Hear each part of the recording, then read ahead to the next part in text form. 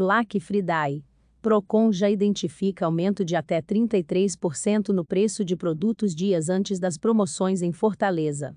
Uma TV de 55 polegadas, por exemplo, custava R$ 3.779,10 no dia 10 de novembro, e já é encontrada a R$ 5.034,05 conforme pesquisa feita no dia 17 do mesmo mês. Assisto agora, em Últimas notícias.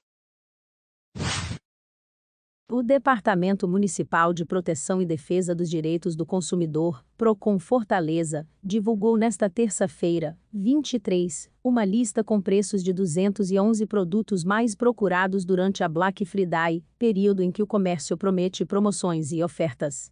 O levantamento mostra que já há indícios de elevação de preços de até 33% antes da data da campanha de promoções, programada para a próxima sexta-feira, 26. O Procon coletou preços de 153 produtos nas lojas virtuais, bicicletas, celulares, notebooks, TVS, fogões e geladeiras. O preço de uma TV, 55 polegadas, por exemplo, custava R$ 3.779,10 no dia 10 de novembro. No último monitoramento, no dia 17 de novembro, o mesmo produto, da mesma marca, já custava R$ 5.034,05, um aumento de 33%.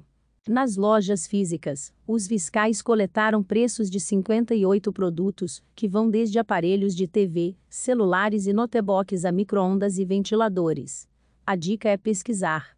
O preço do ventilador, por exemplo, no centro da cidade, pode variar até 69%, sendo encontrado produto, de 40 centímetros, por R$ 129,00 a R$ 219,00. O monitoramento de preços é realizado desde o mês de setembro. Na sexta-feira, 26, os fiscais da Agência de Fiscalização de Fortaleza, AGFIS, vistoriam os estabelecimentos, lojas físicas e CITES, monitorados pelo Procon Fortaleza no período de setembro a novembro de 2021, além de atender às denúncias da população cadastradas pelos canais oficiais. Abre aspas. Em se tratando de uma loja virtual, o consumidor precisa se certificar sobre a reputação daquela loja, se ela estabelece claramente sua política de troca e devolução, se ela informa sobre as condições de pagamento. Em se tratando de lojas físicas, o consumidor deve prezar pela informação clara e ostensiva do produto que tem interesse, verificando todos os detalhes e condições que envolvem aquela compra. Fecha aspas explicou a gerente de capacitação Ruth Vieira. Veja também. Consumidores podem realizar denúncia de preços abusivos pela Central de Atendimento ao Consumidor, discando número 151, bem como no portal da Prefeitura, no campo Defesa do Consumidor.